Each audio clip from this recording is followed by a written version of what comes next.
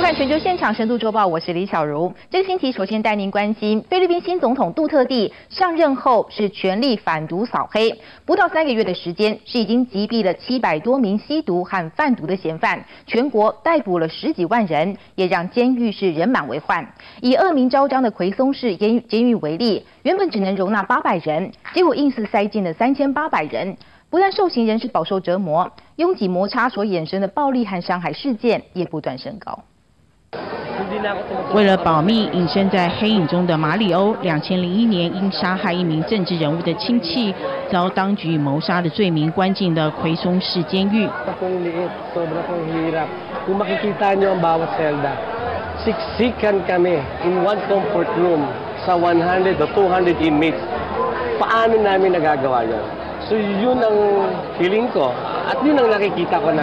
Mailagay ito sa tamang lugar。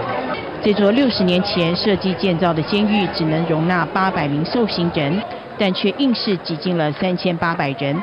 受刑人连睡觉的地方都成问题，必须轮流在露天的篮球场打地铺，还有的睡在楼梯间，每一个阶梯躺一个人，大家像是挤沙丁鱼似的，一个挨着一个缩着身子，连翻身都没有办法。卫生条件更是害人，受刑人煮三餐的地方一旁居然有人洗澡如厕，肺结核、皮肤感染、腹泻和败血症一个传一个。伦敦大学犯罪政策研究中心的资料显示，非国寓所拥挤程度排名全球第三位，全国监狱的平均收容量都超过正常值五倍，而情况还有可能急剧恶化下去。总统杜特地上台以来发起的扫黑运动。毒品相关罪名被捕的人数就超过四千三百人，他还要警方以三倍的努力逮捕更多的人。There will be no let up in this campaign. Double your efforts, triple them if need be. We will not stop until the last drug lord, the last financier, and the last pusher have surrendered or put behind bars or below the ground if they so wish. 杜特地五月赢得大选以来，奎松市监狱待审尚未被定罪的受刑人增加了三百人。尽管狱方经常安排舞蹈比赛或是球类竞赛等活动，试图舒缓受刑人身心，但还是难以抑制暴力冲突发生。Ang big factor na nakakapag-contribute is yung mabagal na usad ng ano ng hustisya. Kung mabagal ang action ng court, the tendency is for the population of jail to to to expand. Mas marami yung pumapasok kaysa napapalaya.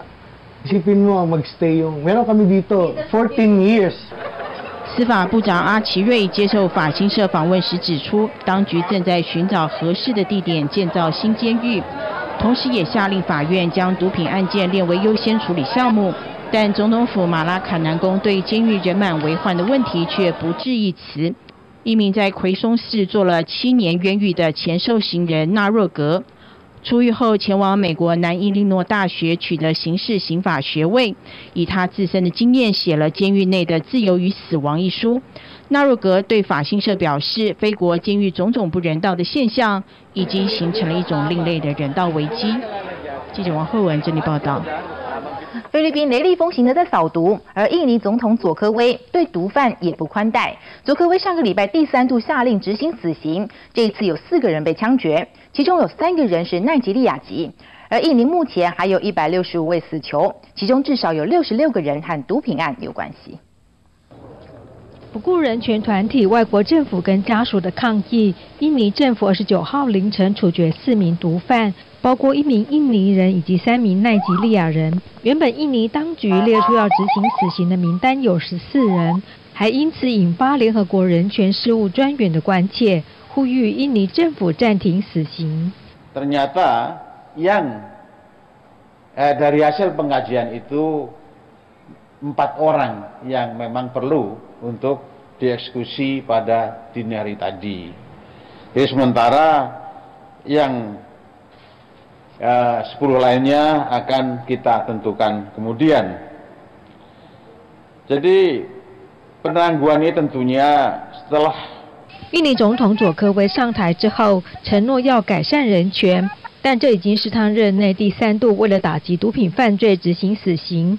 佐科威认为印尼毒品问题严重，每天有三十多个印尼人因为吸毒送命，因此上台以来对于毒品犯罪态度强硬。印尼目前的一百六十五个死囚，至少六十六人跟毒品犯罪有关。No one deserves death penalty. No one. Um, when the uh, president or the government argues that these people kill uh, the younger generation, we have asked them numerous times, what, where is the data?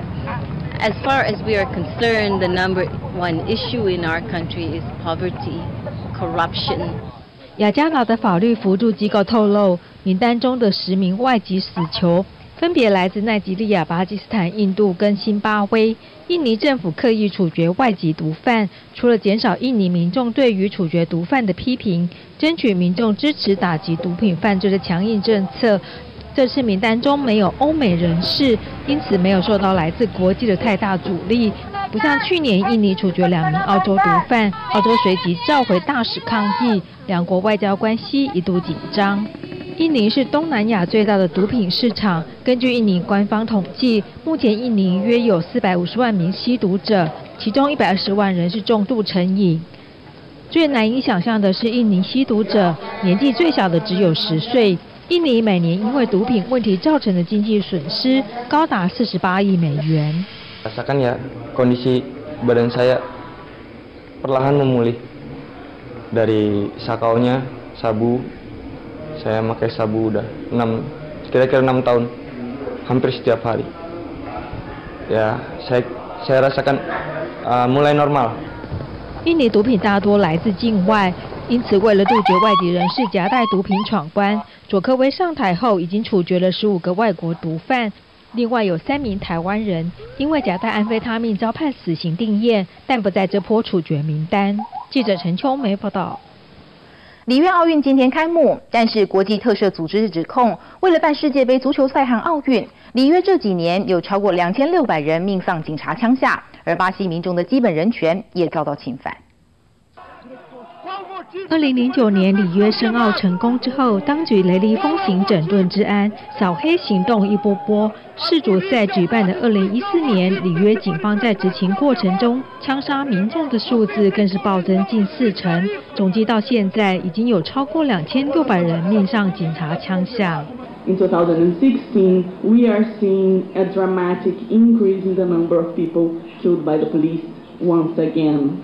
In the past three months, between April and June, the increase in the number of people killed by the police in the city of Rio was of 100% when in comparison with the same period last 除了警察以打击犯罪的名义滥权过度使用武力，里约奥运侵犯人权的事项还包括新建场馆过程中强迫民众搬迁、强迫劳动或是剥削劳工。巴西政府还以反恐名义限缩集会、前置言论自由。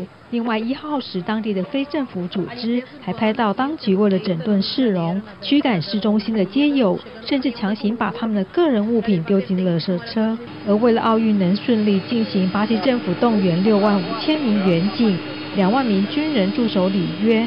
但是巴西军人没有接受过警察的维安训练，也成为人权团体关切的焦点。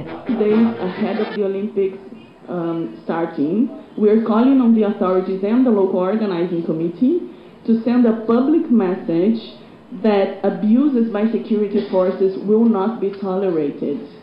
And that we're calling on them to make sure that cases of abuses and human rights violations are properly, promptly and thoroughly investigated and brought to justice. 人权团体要求国际奥委会未来能适度规范奥运主办城市的人权反贪标准，并对违规行为加以制裁，不要再让四年一度的世界级赛事成为侵犯民众基本人权甚至滥杀平民的借口。记者陈秋梅报道。办奥运可以赚到形象和观光潮，但是却难免会劳民伤财。里约奥运已经花了超过六千五百亿的台币，让巴西的财政是雪上加霜。而四年前的英国伦敦奥运，虽然只花了台币四千两百多亿，但是衡量利弊得失之后，这最后的结果仍然是令人惋惜。从英国政府的角度来看，四年前的伦敦奥运无疑是一大成功，但奥运所花费折合台币四千两百多亿的投资，预计在二零二零年将四倍回收。英国观光业受惠最大，奥运后吸引了三百五十万外国游客。奥运红利还包括催生了一九六六年以来最大一波婴儿潮，也带动全民运动的风气。伦敦奥运的建设目标是翻新破落的伦敦东区，打造绿色奥运。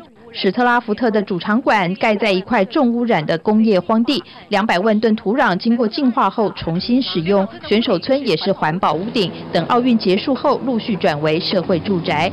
伦敦事前预估，奥运将为地方创造三万个工作机会，加上新建全欧洲最大的购物中心维斯特菲尔德。当时的伦敦市长强森宣称，东伦敦将因此写下惊人的再生故事。如果不是奥运，不可能这么短时间达成。This for me is the greatest Olympic park I think has been in history of the game. 但东伦敦的居民可不这么认为。说好的选手村社会住宅，有一定比例卖给了杜拜主权基金，按市价出租。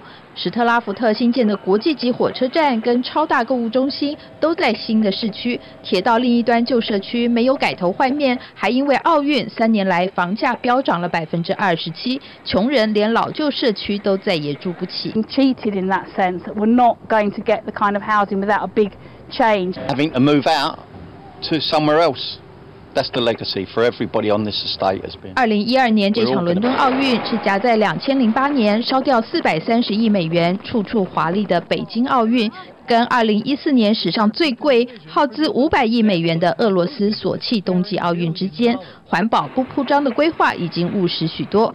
两千零四年希腊雅典奥运会后，二十二个崭新的场馆荒废了二十一个，拖垮经济，因见不远。里约奥运恐怕也难逃重蹈覆辙。近年来，欧美国家一提申奥，人民就大声反对。丹麦政府二零一二年的研究报告甚至说，日后只有不民主的国家才能漠视人民反。对豪洒公帑举办奥运这种面子工程，记者施慧荣报道。委内瑞拉的社会动荡不安，很多人甚至连食物都买不到，让罢免马杜罗总统的行动现在几乎是箭在弦上。反对派推动的罢免案，这个礼拜是跨越了百分之一的选民门槛，接下来只要能够收集到四百万人的联署，就可以举行罢免公投了。连续三年陷入经济衰退的委内瑞拉又爆发抢粮事件。这部满载面粉准备前往超市卸货的卡车，途中在东部拉克鲁斯港遭到民众打劫。等到警察抵达现场时，卡车上面粉已经一包不剩。像这样的暴力抢粮，估计每天超过十起。委内瑞拉不止经济崩解、治安败坏，左派政府同样岌岌可危。去年十二月赢得国会大选，中间偏右的反对派致力推动公投罢免总统马杜，本周跨越第一个门槛。Los 24 estados cumplieron con el requisito del 1% de validación de manifestaciones de voluntad. 反对派收集到二十万份有效罢免联署书，跨越超过百分之一选民的门槛后，随即将选委会递交陈情书，要求赶紧定出下个阶段必须搜集到四百万人联署，让公投成立的时间表。Una fecha perfectamente válida es el 23, 24 y 25 de agosto, así lo estamos estipulando en esta comunicación que estamos entregando el día de hoy. Hay tiempo de sobra para hacer el referéndum este año 2016. 何时举办公投？有关美国政局接下来的发展，反对派人士正极力推动在明年一月十号以前举行罢免公投。因为过了这个期限，马杜罗六年总统任期将进入第四年，届时即使罢免公投过关，也不必再重新举行大选，而是由亲马杜罗的副总统伊斯杜利斯继任未完的总统任期。如果公投能在今年完成，马杜罗遭到弹劾，就能提早举行大选，终结左派政府。目前民调显示，在经济萧条、犯罪率居高不下的情况下，马杜罗有可能输掉公投。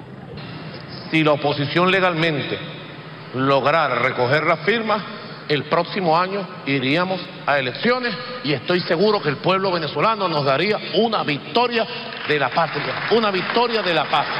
马杜罗已经扬言，即使反对派顺利达标，取得百分之二十选民的联署支持，公投仍将在明年举行。清政府的选委会也跟着起舞，指控罢免联署存在诈欺舞弊，官方已经发动近九千起诉讼。看来反对派这起逼宫戏码是否能如愿还很难说。而在未有定论之前，受苦受难的还是广大人民。目前美国通膨飙升到百分之七百，民生物资严重短缺，许多人已经三餐不继。记者曾慧明报道。六十四岁的小池百合子上个礼拜成为日本东京都第一位女知事。小池百合子本来是电视主播，四十岁从政之后，从参议员一路做到防卫大臣，最后是前进东京都，每一次都是日本政界的女性第一人。七月三十一号，日本东京都诞生了有史以来第一位女性知事小池百合子。在支持者的欢呼声下，小池不断感谢民众相挺。一九五二年出生的小池，现年六十四岁，从政路程一路走来，可以说是政界的天之骄女，相当顺利。大学时期前往埃及念书，在开罗大学毕业后就从事阿拉伯语的口译。一九七九年开始在日本电视台当助理主播，到了一九八八年成了东京电视台节目的第一代主播。イスラムっていうのは非常に広い範囲で信奉されているわけなんですけれども。一九九二年，他代表日本新党竞选参议院议员，以政治新人身份当选。隔年辞去了参议员，竞选众议院选举，依旧再度当选之后，被当时的首相细川护熙相中招揽，成为总务行政官员的 副手。永田町は猛獣とかあの珍獣とかがいらっしゃると聞いたもので、今日はあのサファリルックで参りました。之后，小池历经日本新党、新进党跟自由党、保守党等政党经历，直到两千零二年加入自民党，在当时首相小泉纯一郎任内第一次入阁任职环境大臣。 在两千零五年任内推行夏季服装轻便化政策，以节省空调电力耗费。根据日本业者出估，至少帮政府省下了一千一百亿日元。两千零七年，小池在安倍政权下担任防卫大臣，缔造日本史上第一位女性防卫大臣的记录。之后更在自民党内任职总务会长，深入政权核心，也是女性第一次担任其党内的高层职务。在从政路上，小池创下不少女性第一人的记录，在选民心中拥有相当高的人气。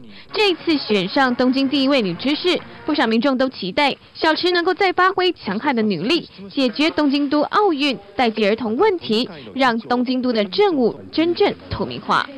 记者陈世彤报道。东京选出第一位女市长，而在阿富汗这个更为父权保守的社会里，也有一位唯一的女省长。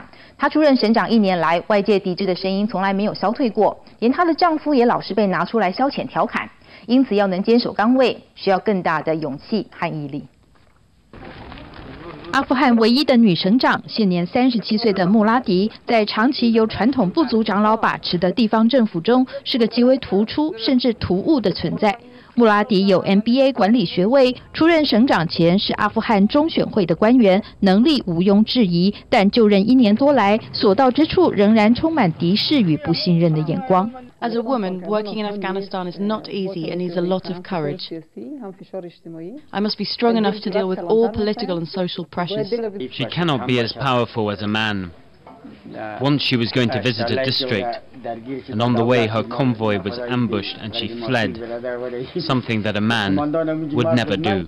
穆拉迪主政的代孔迪省位在阿富汗最中央地带，群山环绕，冬天冰封好几个月，农业经济看天吃饭。这几年来，外国援助越来越少，失业率越来越高。 地方议会长期都是男性俱乐部，建设计划纸上谈兵，有学校但没有校舍，有医院但是没有医生。换上女省长推改革，阻力自然不会小，连她的丈夫处境都很尴尬。My friends tease me, saying that I have become a babysitter or a house secretary, and I have to tolerate them. But I am happy that Mrs. Muradi is the governor, and I support her.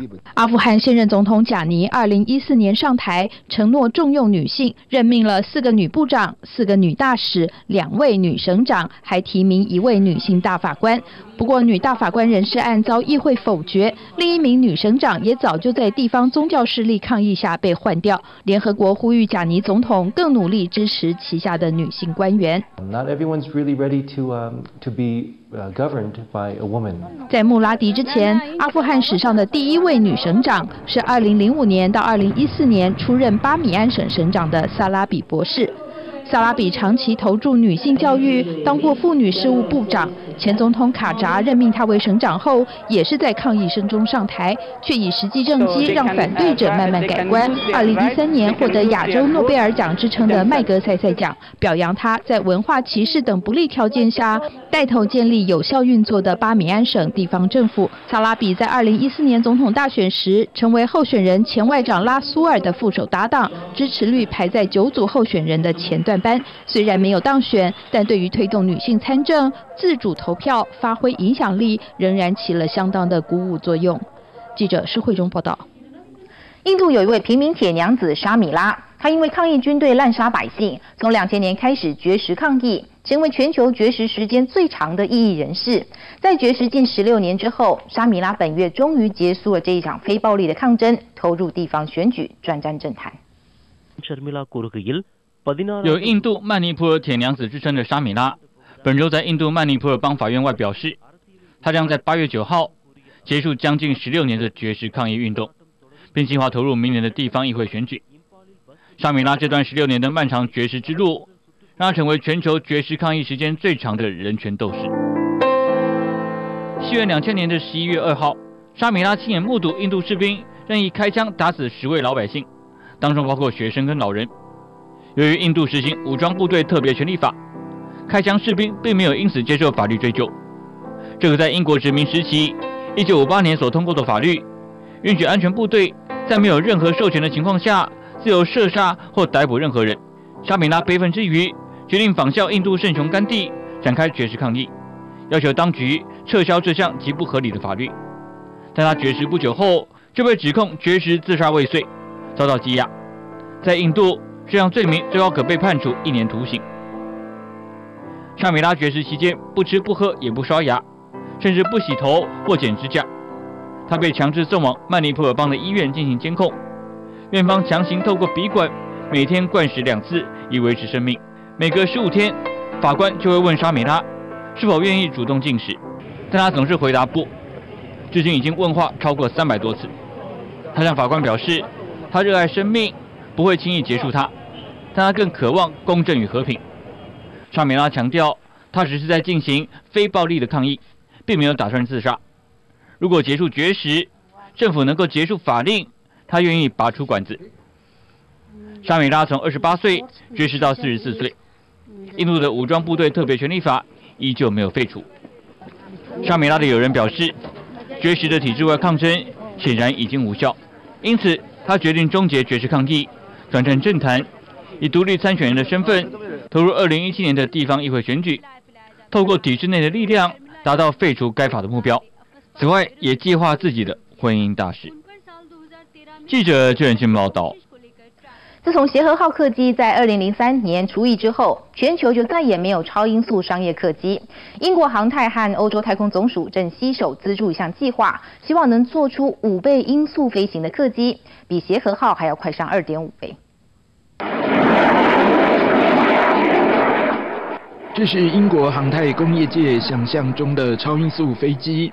研究计划全名为“长城先进推力概念与科技 ”（LabCat），预计以五马赫（相当于协和号客机二点五倍的速度）航行于九万两千英尺的高空。另一种可能是画面上这架黑色的太空飞机。新式的喷射引擎不仅让它可以加速到五马赫，还能变成火箭引擎，直接飞进地球轨道，把卫星安放在预定的位置。现有的火箭引擎要用庞大的燃料箱来储存所需的液态氧燃料，但研发中的引擎则是以充满氦元素的管子，把吸入喷射引擎的空气从摄氏一千度的高温急冻到零下一百五十度，时间只需要百分之一秒。That is a astronomical cooling rate in a piece of equipment of that sort of weight. That means that we will transform high-speed uh, aviation. The first one, the one that we're really, really interested in, is that enables an aeroplane, very, very much a, a fast aeroplane, but an aeroplane nonetheless, to take off, uh, accelerate up to five times the speed of sound, uh, turn itself subtly into a rocket, and then fly into orbit, do a job, return, come back again. The second thing that uh, it enables is very high-speed terrestrial aircraft. So, for example, a aircraft carrying 300 passengers could go from Europe to uh, Australia in about four hours, four and a half hours. 如果是当成太空梭，在大气层外的飞行速度更能达到二十五马赫，相当于每小时二十八万多公里。当然，这种新科技的研发需要不少时间。 Technological uh, developments are always, in aviation, are always time consuming. An aircraft, a conventional aircraft, uh, needs about five to six years to be developed and uh, viable and, and tested. Um, these kind of innovative engines um, probably need at least that, if not more. 研究团队表示，引擎测试预计在二零二零年之前进行，而整架飞机要做到商业化使用，还要更久以后。 记者徐佳仁报道。非常感谢您的收看，也请您继续锁定明天晚上七点半《全球现场漫游天下》，我们再会。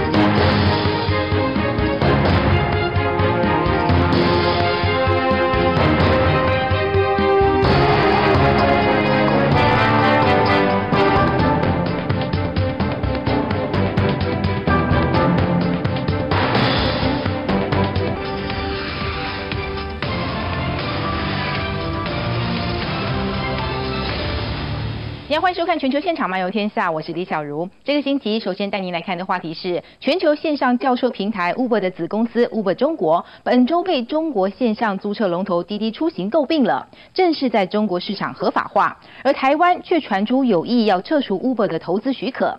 创立在美国加州的 Uber 公司，透过手机 App 的轿车服务，这几年的确是颠覆了全球私人运输市场，但也不断的引发争议，尤其是传统计程车业者更是激烈的抵制抗争。全球最大轿车平台 Uber 本周宣布，该公司中国业务将与中国网约车龙头滴滴出行合并，合并后滴滴的市值增加到三百五十亿美金，Uber 只占其中的百分之二十，滴滴占了八成。Uber 这几年在中国的烧钱策略显然踢到铁板，但为了打进中国利益庞大的线上轿车市场，也只能惨败被并。专家认为，双方达成战略性合并的终极目标只有一个，一切都是为了钱。Both Didi and Uber, their investors want to put an end to the cash burning competition in China. So financially, it will help both companies. Uh, during the past few years, they've in, been invested a lot um, in develop um, the ride-hailing market in China and uh, compete with each other fiercely. 尽管中国 Uber 被并购，但至少不用再每年惨赔十亿美金，而且还能拥有滴滴出行百分之二十的股权， 不算空手而回。最重要的是，在中国能合法化经营，更比 Uber 在欧洲的处境好太多。尽管这几年 Uber 砸下重金，针对招募司机以及挖角传统计程车的乘客，拍摄多部形象广告，主打自主性、快速便捷，加上时尚感，在发源地加州已经取得合法资格，但 Uber 在欧洲各国还是无法畅行无阻。毕竟在欧洲，要考上计程车营运执照相当不容易，平均要花上好几年时间。要成为 Uber 旗下司机的门槛相对较低，只要有驾照，车子干净就可营运。法国计程车业者对 Uber 抢饭碗的行为抗议最为激烈，烧车又砸鸡蛋。而英国尽管在2014年7月宣布 Uber 可在伦敦合法经营，但两年来传统计程车司机的抗议不断。今年二月，黑头车再度集结，瘫痪伦敦交通。We are not standing for this Uber um, business anymore. We, we've worked four years on our knowledge to pass and to get this badge that we've we've worked so hard for. Why should they come in and just be able to just free reign? Company to make changes to its. 法国法院今年六月以 Uber 非法经营计程车业为由，寄出相当于两千八百三十万台币的罚款，也对 Uber 两名高阶主管各罚款一百七十七万台币。德国也在今年六月重申维持对 Uber 的禁令。 丹麦法院今年七月对六名 Uber 驾驶开罚。至于意大利、西班牙、匈牙利等国政府也都认定 Uber 违法。Uber 创立七年以来，业务扩展到全球六十六国的四百四十九个城市，目前市值高达六百八十亿美金，是全球最大的未上市初创公司。但在网络就是一切、消费者导向的时代，各国要如何面对 Uber 大军持续压境？绝对是棘手又无法回避的难题。记者郑全报道。里约奥运已经开幕，而下一届的奥运则是由东京来举办。拜日币贬值的影响，日本近年来外国游客的人数大增，但是旅馆客房贵又不够用，Airbnb 等短期的日租民宿虽然受欢迎，但是却多数都不合法。日本政府现在有意思要拥抱共享经济，计划在东京和大阪两大城市规划特定的区域，让民宿来合法化，解决客房荒，但是却受到饭店业者和老住户的抵制。おもてなし。おもてなし。三年前，日本东京申奥代表团混血女主播这句真心款待，道出地主国的热忱，让人印象深刻。此后，在日元贬值、政府政策推动下，前来感受日本真心款待的外国人人数暴增，去年达到一千九百七十万，比前年成长了百分之四十七。旅馆房间明显不够用，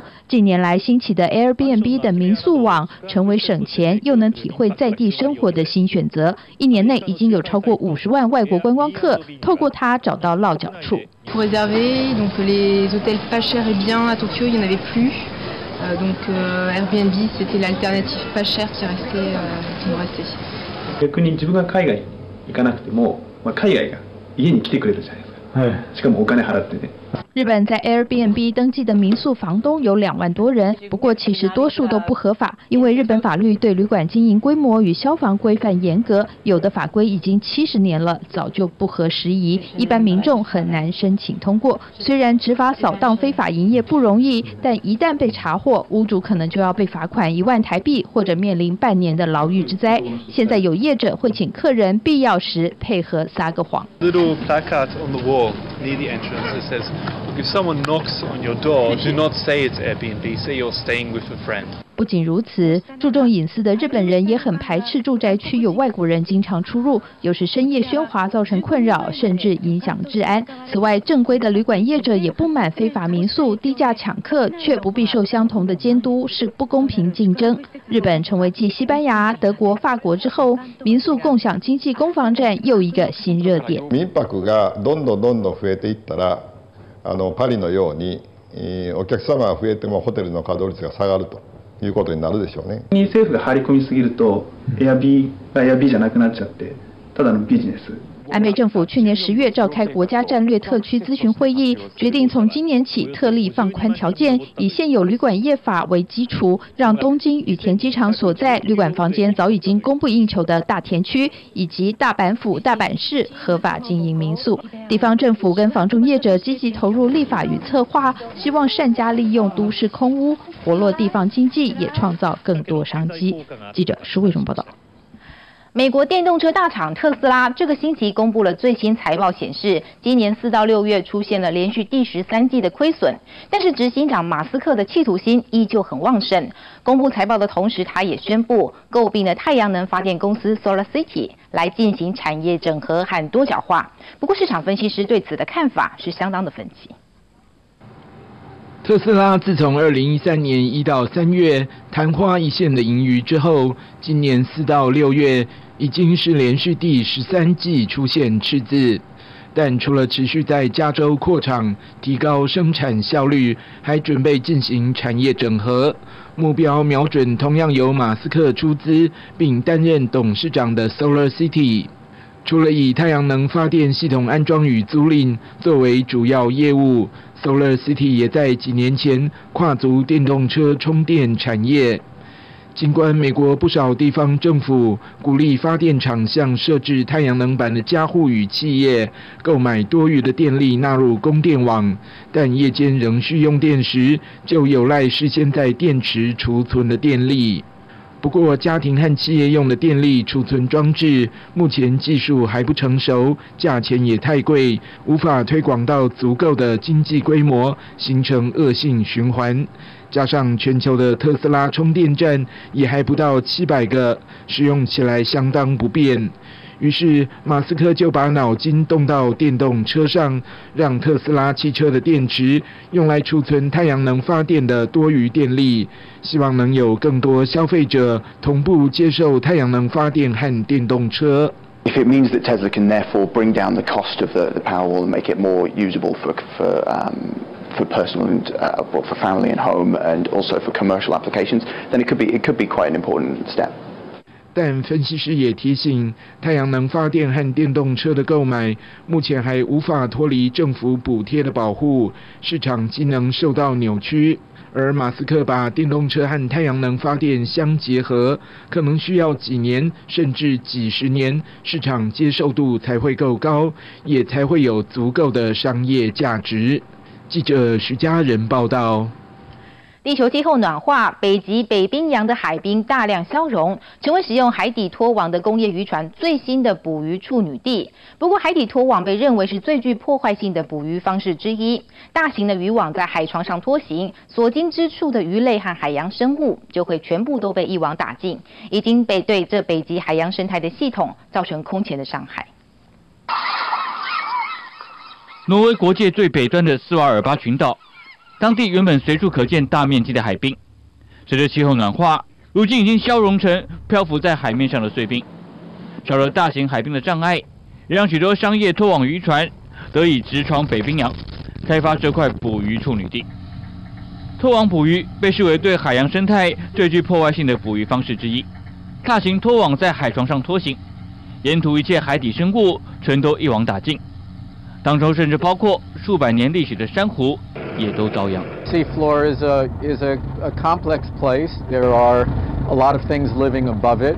There are hard corals, and they may be many centuries old until the day that a net just snaps them off, and then that's it for centuries, even if the nets don't come back. So here there is a chance to get it right.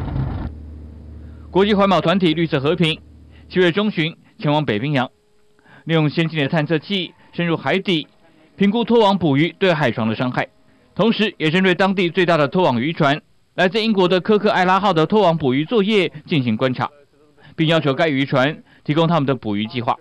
根据预测和平的数字，科克艾拉号的拖网一次能捕获四十公吨的鳕鱼，数量惊人。这对鳕鱼的成长一定造成毁灭性的伤害，这让呼吁挪威政府必须挺身而出。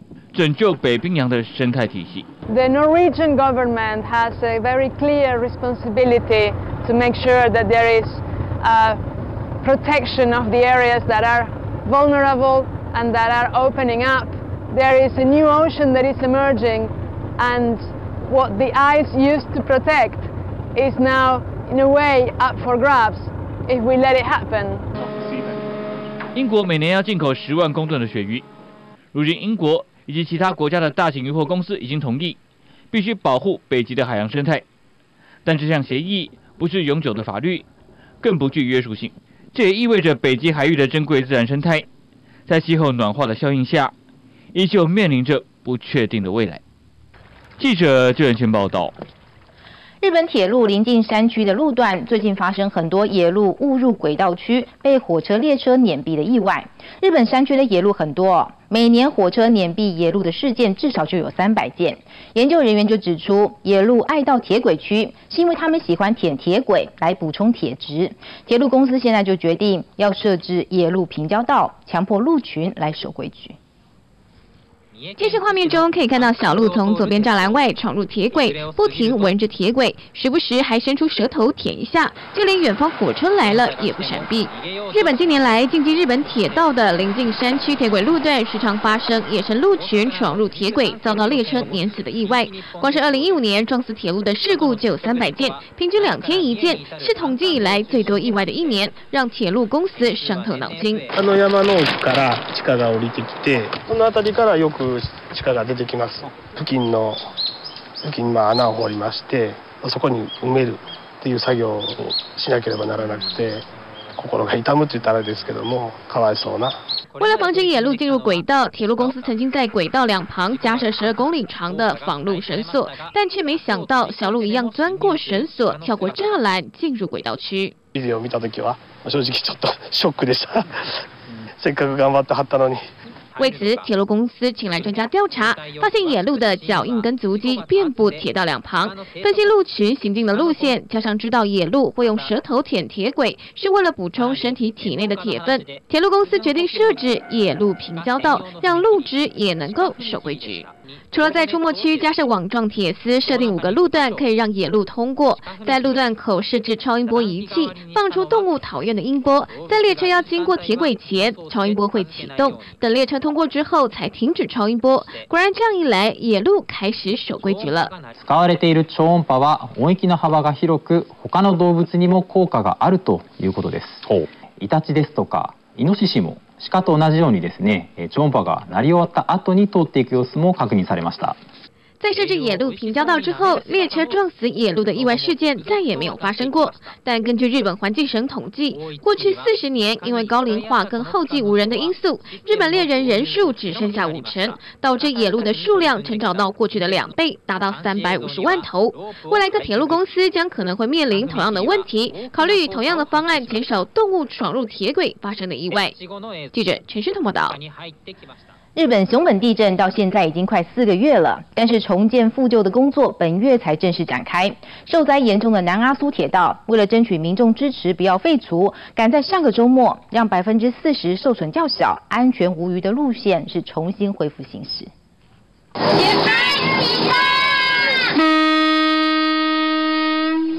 汽笛声响起，伴随着月台上当地民众的欢呼，南阿苏铁道服役最久的 MT 两千柴油火车缓缓驶离最东边的高森车站。这是今年四月中旬熊本地震造成全线停驶以来，南阿苏铁道第一班发出了火车。挤满小小车厢的大朋友、小朋友，从车窗看到久违的田园景色，充满了既感伤又兴奋的情绪。久々に乗れて嬉しいです楽しみにしてきましたもうね地震で全然通ってなかったからですね原有的日本国铁改制成为 JR 之后，属于特别支线的南阿苏铁道就由熊本县南阿苏村等自治团体经营，作为地方交通观光的重要支柱。 今年四月中旬的熊本地震，除了造成一千七百多人死伤，估计熊本城和许多民宅严重损坏。南阿苏铁道也因为多处坍方、路基流失而全线停驶。经过专家的评估，在总长十七点七公里的路线中，高森到中松这段七点一公里的路线损坏较少，稍微修复后，随即在七月份试车，并于上个月周末恢复营运。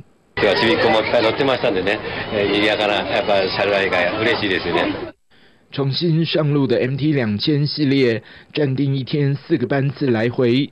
至于什么时候可以全线恢复，日本媒体的报道指出，一方面金额预估高达三十亿日元，身为股东的地方政府难以负担；另一方面，在中松车站以西，也就是目前无法通车的十公里多的路段，包括路基、桥墩和隧道，损坏都相当严重，现阶段还无法确定恢复通车的时间。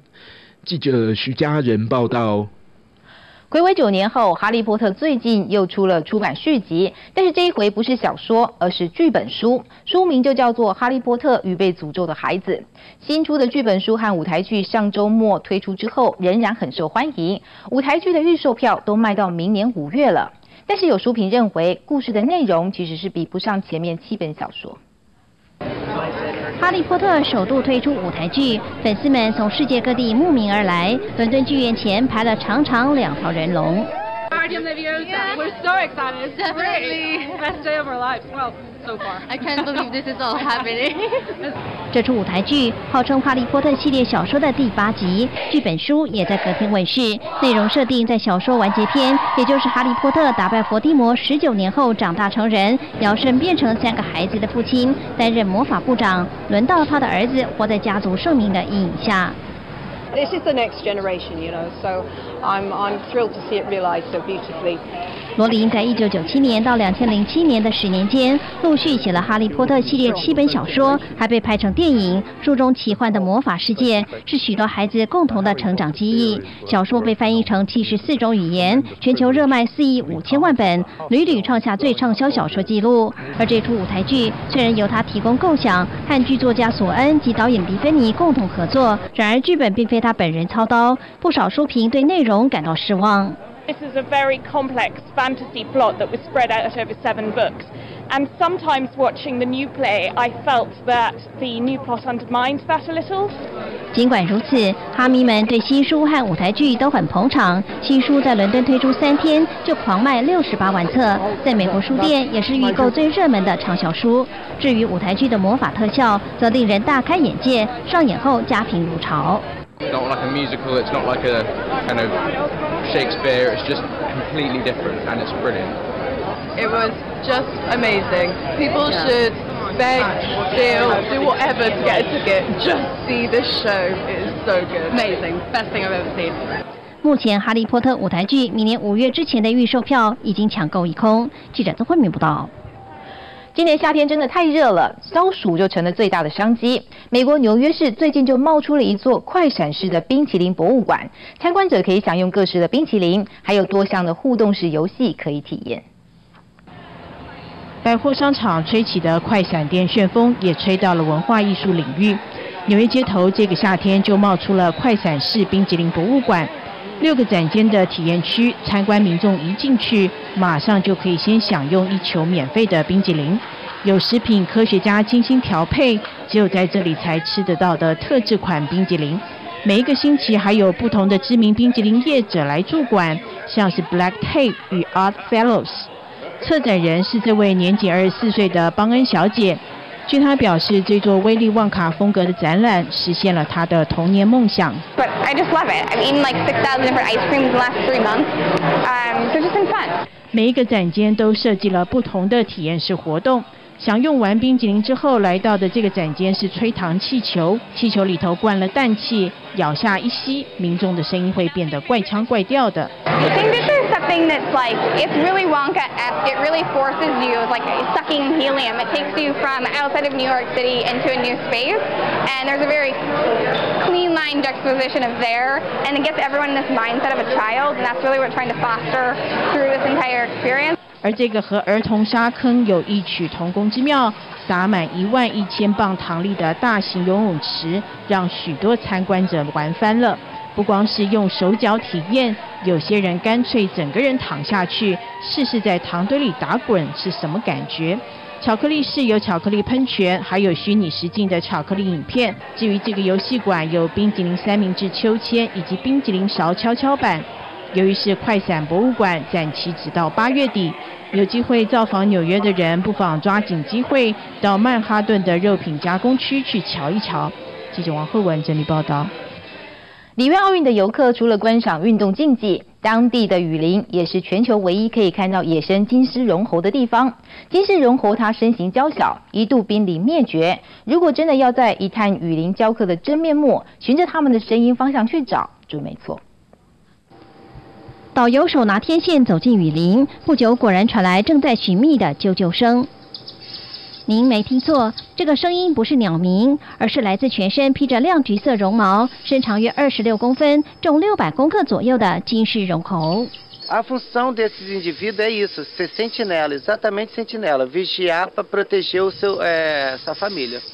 金狮绒猴体型娇小，毛色讨喜，原产于巴西东南部雨林，过去常被卖到国外当宠物或送到动物园展示。四十年前，研究人员赫然发现，都市和农地迅速扩张后，雨林遭到无情破坏，金狮绒猴濒临灭绝，野生数量到了一九九零年代仅存一百五十只。于是有心人士在距离里约约七十公里处成立了保育区，首要工作就是促进金狮绒猴交配繁殖，终极目标则是富裕雨林，让金狮绒猴回归林间。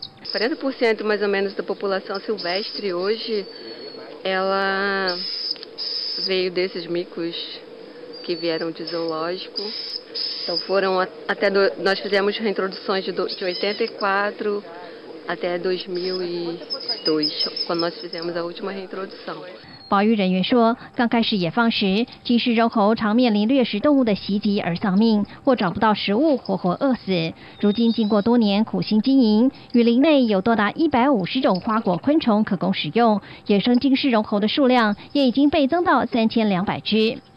We're looking at the world's most beautiful primate, but the tamarins clearly something maybe everybody should experience just to see.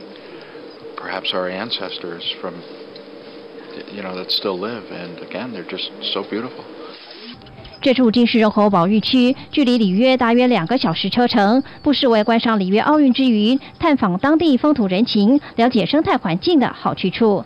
记者曾慧敏报道。披着羊皮的狼是形容一个人外表温驯、内心奸诈。很少人知道这个世界上真的有披着羊皮的猪。发源于欧洲匈牙利的曼加利茶猪，拥有跟绵羊一样的长卷毛，不仅外形可爱，而且肉质油花丰富，是顶级的肉品食材。这里是匈牙利首都布达佩斯郊区的农场，拥有一身长卷毛的曼加利茶猪正低着头开心进食，模样相当可爱。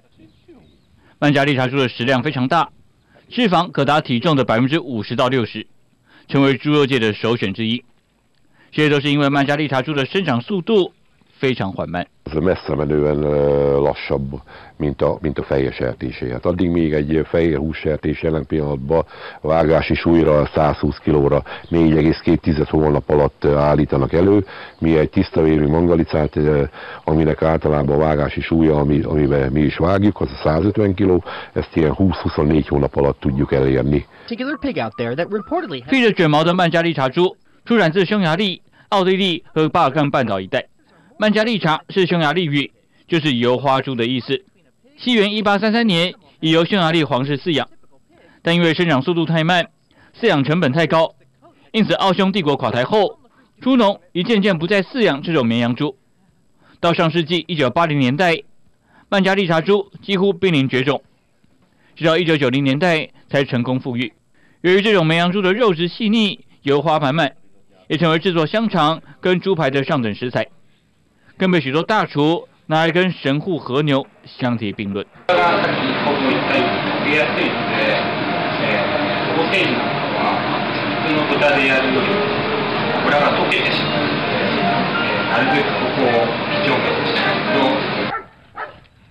曼加利茶猪的价格，每公斤猪肉要价六百四十四台币，比一般肉猪要贵三倍。